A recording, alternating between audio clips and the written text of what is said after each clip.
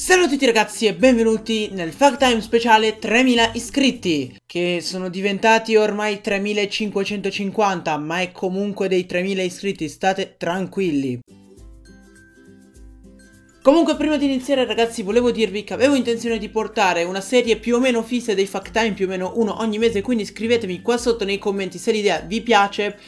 E niente direi di iniziare subito ho selezionato solo alcune delle vostre domande perché me ne sono arrivate tante, ma tante tante, e quindi ne farò più o meno 10-15, dipende, adesso controllerò anche la lunghezza delle mie risposte. E niente, direi di iniziare subitissimo con la prima. La prima domanda ce la fa Almex che ci chiede qual è il nostro videogioco preferito della PlayStation, dell'Xbox, della Wii o della Wii U, del PC e del 3DS. Allora, ti premetto che io non gioco molto a videogiochi, però comunque per la PlayStation e per l'Xbox vado sul mainstreamissimo FIFA perché è l'unico più o meno che ho giocato ed è l'unico che tuttora gioco perché dovete sapere che io gioco solo Pokémon e FIFA, questi sono i miei due giochi. Poi per Wii e Wii U, eh, per Wii e Wii U c'è una bella lista perché ci sarebbe Mario Kart, Wii Sport, Pokémon Battle Revolution, Dragon Ball Budokai Tenkaichi che sono tutti giochi bellissimi che ho provato però se te ne dovessi scegliere uno direi quello che non passa mai di moda, di moda ossia um, Mario Kart. Mario Kart è proprio il top, nel senso che qualsiasi periodo ci giochi non, non, non, ti stanca mai, mentre invece gli altri col passare del tempo, insomma. Ecco, se dovessi scegliere in questo momento un gioco della Wii U a cui giocare, Mario Kart, sicuramente. Poi invece per il PC ho giocato praticamente solo giochi di strategia, quindi ti direi Imperium Online, tutta la saga di Imperium, intanto c'è cane che fa bordello con la pallina. E per 3DS... Mm, Pokémon Rubino Omega, che è anche l'unico che ho giocato più o meno insieme a X e Y, quindi praticamente mi dici di scegliere fra Pokémon X e Pokémon Rubino Omega, ti dico Rubino Omega perché X... Eh... Visto che abbiamo parlato di FIFA, la prossima domanda sarà quella di Andrea Drago, che ci chiede perché fai solo Pokémon e non altro, per esempio FIFA.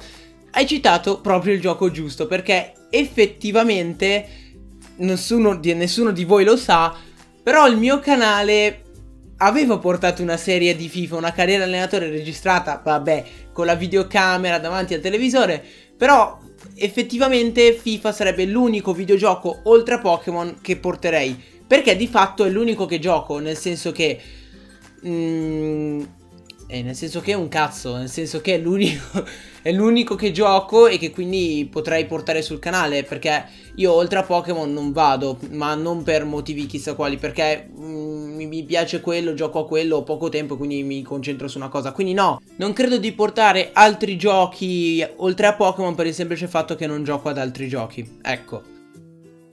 Domanda molto secca invece questa qua di Sissi Rock Marra, Marra, Marrazzo, ok ce l'ho fatta, perdonami, che ci chiede se preferiamo Kingler o Oundum e io ti rispondo Oundum tutta la vita perché Kingler è un cazzo di granchio schifoso e io ho paura dei granchi, dei ricci di mare e delle meduse, quindi già ho capito tutto. Iveltal00 invece ci chiede Hai mai pensato di cambiare il tuo nickname? Quali sono i tuoi manga e o anime preferiti? Allora, sul nickname ci ho pensato dal primo giorno in cui ho messo il nome. Perché effettivamente voi dite, vabbè, Creepy Stories è un nome abbastanza... Da merda, insomma, ecco. Ed effettivamente sono d'accordo con voi.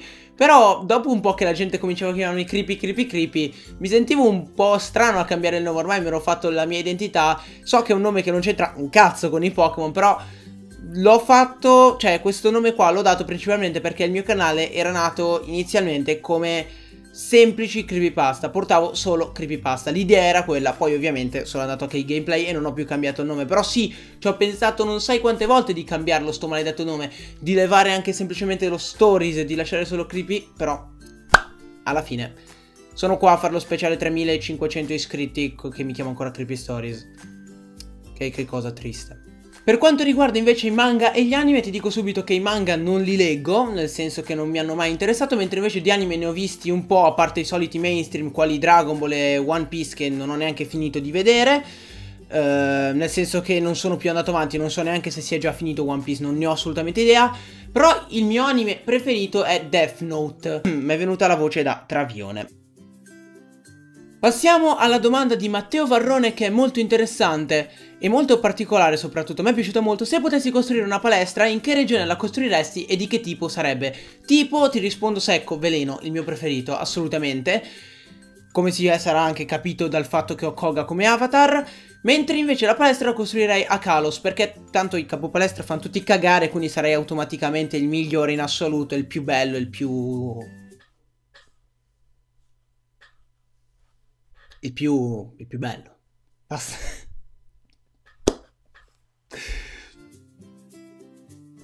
La prossima domanda ce la fa Really Fox che ci chiede qual è il Pokémon che odi di più e perché? Miltank. Credo che non ci sia un motivo valido per spiegarlo. Anzi c'è. Passiamo alla domanda di Alessia Fenti che ci chiede Pokémon preferito di ogni generazione, mi saluti, ti seguo dai 3000 iscritti, continua così, sei un grande. Allora, innanzitutto grazie mille per i complimenti e anche per la domanda. Sì, ti saluto, ciao Alessia. Allora, Pokémon preferito di ogni generazione, mi chiedi uno, uno sforzo mnemonico abbastanza duro. Prima generazione Ninetales, che è anche il mio Pokémon preferito in assoluto. Di seconda generazione ti direi Lugia, che è il leggendario del gioco che io ho amato. Anche se all'inizio preferivo OO, però poi, raga, Lugia, tanta roba. Poi di terza generazione ti direi Manetric. Però ci sono altri Pokémon molto interessanti. Io apprezzo molto Maitina. Bainet ha una bellissima storia. Agron è stupendo. Quarta generazione, ragazzi, per motivi affettivi dico Empoleon, perché è stato il mio primissimo Pokémon effettivo, perché in realtà il mio primo gioco è stato Verde Foglia, però insomma lo giocavo un po' a scazzo, invece il primo gioco serio è stato Diamante e lì, cazzo, cioè, Empoleon a manetta, e quindi mi sono legato emotivamente a questo Pokémon. Quinta generazione, vado a mani basse e vi dico Scoliped, che è sicuramente il Pokémon coleottero migliore, mentre invece la stessa generazione sono tutti abbastanza brutti, però Diciamo che, ecco, Talonflame è abbastanza buono. Poi ci sarebbero anche Noivern, Greninja, um, il T-Rex di cui non ricordo, Tyrantrum. Però ecco, sesta generazione è un po' così. Direi Talonflame però un po'... eh... La prossima domanda è anche questa molto molto interessante, ce la fa Cortops Gaming che ci chiede Porterai mai sul canale delle poche pasta scritte o semplicemente mandate dai tuoi iscritti? Complimenti per i 3000 iscritti, grande bro. Grazie mille, buon Cortops. Sì, lo voglio fare, è un progetto che mi hai già proposto, caro Cortops, però lo dico anche qua pubblicamente, sì, ho intenzione di mh, mm, aprire un chiamiamolo contest nel quale voi mi invierete le creepypasta, io le leggerò e poi magari potrebbe scapparci anche la sponsorizzazione se avete un canale o robe simili. Quindi ragazzi ve lo dico qua, se volete mandarmi delle creepypasta scritte da voi, pagina Facebook. Cioè in teoria potreste mandarle anche su YouTube, però vi consiglio io la pagina Facebook perché su YouTube i messaggi io li perdo, stanno diventando troppi, ormai ho, ho tanti commenti, non riesco più a gestirli tutti, quindi se lo fate sulla pagina Facebook è meglio anche per voi. Davide Muzzi ci chiede, farete la Soul Link a Rubino e Zaffiro? Saranno power creepy ovviamente, saranno power raga sempre. Comunque, l'idea c'è, bisogna vedere come faremo la Soul Link, quando farla, se farla su Rubino e Zaffiro, perché io e Luke ci siamo confrontati e abbiamo detto Rubino e Zaffiro, meh. Diciamo che non ci piacciono molto a entrambi, quindi sì, ci saranno altre Soul Link, spero, è nelle nostre intenzioni farle, però ecco, ci vorrà un po' di tempo. Però lo faremo, tranquilli. Prossima domanda fatta da Mira che ci chiede Farai qualche let's play con qualche youtuber piccolino? Allora, um, di let's play con youtuber piccoli, nel senso più piccoli di me, ne ho fatti praticamente tutti i miei let's play, a parte quelli fatti con Binance, sono fatti con youtuber più piccoli. Uh, Frost, ho fatto Pokémon Rosso Fuoco Distorto e ha 353 iscritti.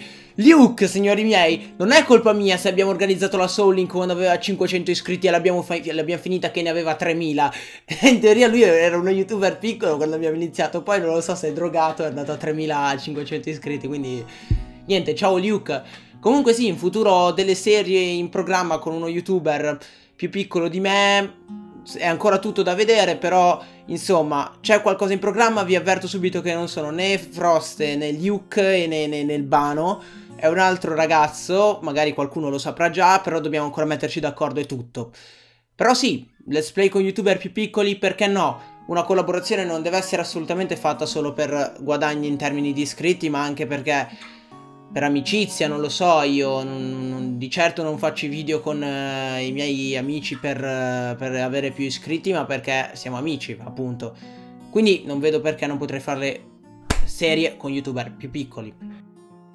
Penultima domanda fatta da Koichi Kabuto, Ravenclaw spero di avercela fatta, che ci chiede Creepy da quanto tempo conosci Frost, Rocket e Bynet? Sei grande Creepy ti prego salutami, ciao, il tuo nome non lo ripeto neanche morto, scusami, ciao comunque che, caro mio Kabuto, facciamo che ti chiamo così. Allora, Frost lo conosco dalla vigilia di Natale del 2014. Del 2014 io non avevo un cazzo da fare la vigilia di Natale, mi stavo scartavetrando le palle sono finito su YouTube, ho trovato il suo canale e gli ho lasciato un commento sotto un video. Da lì è iniziata una storia incredibile. Ho tirato una botta al microfono, dicevo, da lì è iniziata una storia incredibile che è durata fino ai giorni d'oggi. E niente, quindi Frost lo conosco più o meno da un anno e mezzo. Mentre invece Luke lo conosco, cioè, conosco della sua esistenza, cioè di Dio io conosco l'esistenza da... Mm, sarà stato tipo prima di Frost sicuramente una roba tipo estate 2014, però abbiamo cominciato a sentirci solo dopo perché prima io lo seguivo semplicemente come youtuber, al tempo Luke aveva... Luke, quanti iscritti avevi? Ma 20 forse, no neanche, ne avevi 5, mm, una roba così. E tra l'altro, adesso Luke mi odierà perché lo dico, lo conobbi perché Luke mi mandò un messaggio di spam. e sì, non sto scherzando mi ha mandato un messaggio di spam e se non ci fosse stato quel messaggio di spam io non avrei conosciuto Luke, quindi viva lo spam. Invece il rapporto con eh, Bynet è sicuramente più recente, eh, risale all'estate scorsa, quella del 2015. In pratica io lo seguivo già come youtuber, poi si vede che lui ha visto il mio canale, mi ha commentato qualche video, abbiamo cominciato a sentirci per delle collaborazioni e poi in estate è uscito Pokémon Death Version e da lì abbiamo cominciato a fare collaborazioni su ogni cazzo di gioco che ci passava sott'occhio. Tra l'altro, a proposito di Death Version, notizione dell'ultimo momento, sembra che sia in sviluppo la versione 3 di quel gioco, quindi sicuramente se esce io e il vano la portiamo. Cioè, su questa cosa qua potete scommetterci alla SNAI e sicuro che la prendete. Ultimissima domanda che ho lasciato per ultima, non a caso perché è una domanda molto molto bella, soprattutto molto interessante, è quella di The Magic Man YouTube. Io ho difficoltà a leggere i vostri nomi, capitemi, che ci chiede Sei fiero di quello che fai? Hai mai pensato di lasciare YouTube? Allora, sì, sono veramente molto fiero di quello che faccio, soprattutto perché quando ho iniziato Diciamo che avevo un po' tutto contro la tecnologia, le altre persone, quindi per me essere arrivato a questo traguardo, riuscire comunque a intrattenere tutte le persone che mi seguono, 200, 300, quelle che sono in un video, è davvero una cosa stupenda e della quale vado molto fiero, non solo io, ma anche quelli che prima magari non credevano in questa cosa qua hanno cambiato idea e questa è una cosa che mi piace, che mi ha fatto davvero tanto, tanto piacere. Hai mai pensato di lasciare YouTube? Sì, sì, ci sono stati dei periodi quando avevo 9 iscritti, ho avuto per 6 mesi 9 iscritti io, in cui ho detto, vabbè, cosa, che senso ha andare avanti, tanto vale che smetto, tanto non li guarda nessuno sti video. Però poi ho capito che la perseveranza paga, come ha dimostrato recentemente il caso di Luke, caricare sempre un video al giorno, poi alla fine i frutti li dà. E quindi ho proseguito e alla fine verso gennaio sono arrivati i risultati, ho cominciato a crescere di iscritti, di visual, ho cominciato a conoscere persone, a fare collaborazioni, quindi ecco un messaggio che vi do è sicuramente non arrendetevi, se fate youtuber non arrendetevi se avete poche visual, pochi iscritti, perché veramente se avete una buona qualità e ci mettete impegno, impegno, impegno, se, face se facete, se fate video ogni giorno, con passione, con qualità, vedrete che prima o poi i risultati arrivano. Ero come voi un anno fa, in questo momento io ero più o meno come voi ragazzi. Però vi assicuro che la perseveranza paga e quindi vi invito se siete youtuber a fare come ho fatto io, a non arrendervi e a continuare.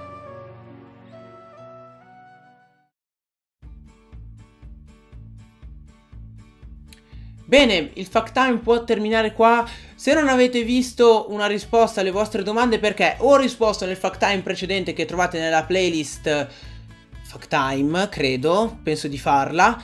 oppure perché erano domande da deficienti assolutamente. E, ehm, quindi niente, io spero che questo fact time vi sia piaciuto. Mi raccomando, scrivetemi qua sotto se ne volete uno ogni mese per soddisfare le vostre curiosità. Creepy Stories, perché io ammetto che una persona così affascinante non è che può non essere interessante.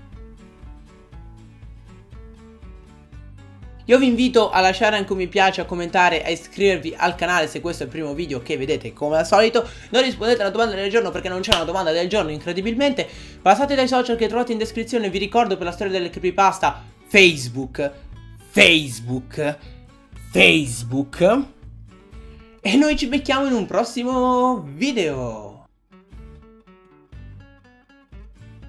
Sì, ok, piccola clip informativa. Eh, nel selezionare le domande mi sono totalmente dimenticato di una buona lista di vostre domande che non avevo assolutamente visto. Non mi chiedete com'è possibile, farò un altro fact time eh, a breve per rispondere anche ad altre domande perché ce n'erano altre molto interessanti. Ciao.